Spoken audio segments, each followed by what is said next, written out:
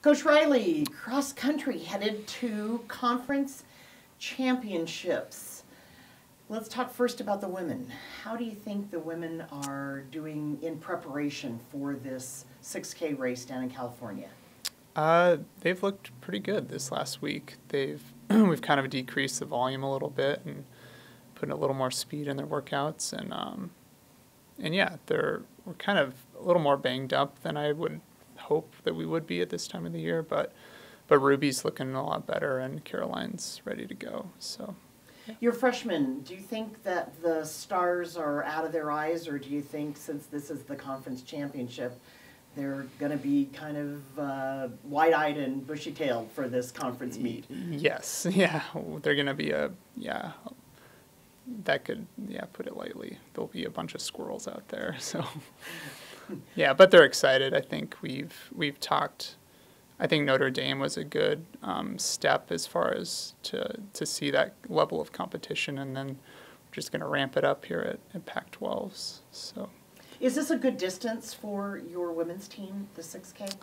yeah, it's I think with our freshmen they prefer five, and I think Courtney Zalad always the, short, the shorter the better for her. So, but Caroline and Ruby they they excel at that at that distance. So.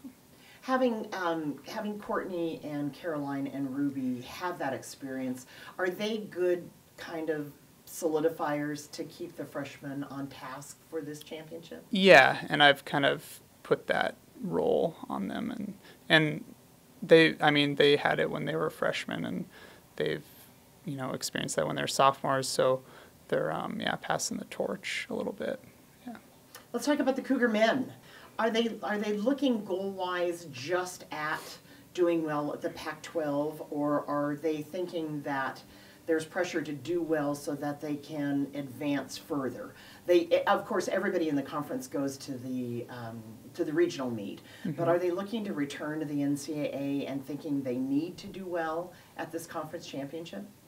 Um, we've we'd like to do well, obviously, but our, our kind of the main focus of this season is is to make it back to the NCAA's, and for that to happen, we have to have a, a really good regional meet. So, um, the thing about the Pac-12, it's so deep and so good. We could get we could run absolutely perfect and get fifth or sixth.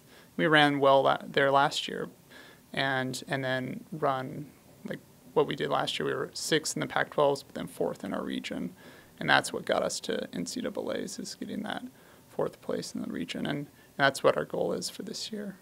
Who are your leaders right now for the men's team? Uh, Andrew Kemple and um, Drew Jordan have been kind of the taking the brunt of the leadership roles, and but they're as far as Todd Wakefield's really coming along as well. So, um, yeah, I think it was it was kind of hard to pick um, if I had to pick one leader on the team. So that's always always a good thing. And this is an experienced team. Yeah. Yep. We're we have yeah no freshmen on the team. I was gonna say the the upperclassmen, Andrew Kimples are only seniors, so but a handful of juniors and sophomores, and they've been there before, and a lot of them were on that um, NCAA qualifying team last year. So we're looking to to run well this weekend and then bring it for regionals.